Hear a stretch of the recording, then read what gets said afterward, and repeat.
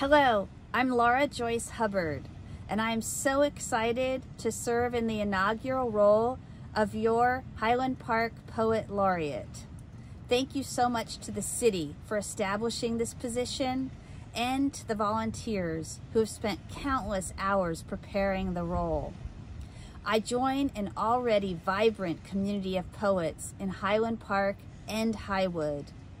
And our first project will be the Highland Park Favorite Poetry Project. Please start thinking of a favorite poem and how it either inspires you or moves you or is just one you enjoy returning to. Maybe it makes you laugh.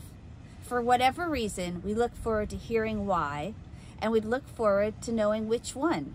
There'll also be an option to record the poem in your own voice. Right now, I'm down at the Rosewood Beach because the lake shore is a beautiful spot inspiring to write or read poetry. We're very fortunate we have the ravines, the prairies, the lake shore, and most of all, a community of people that inspire us every day. I so look forward to writing poems with you in the years ahead and to meeting you in person. Thank you.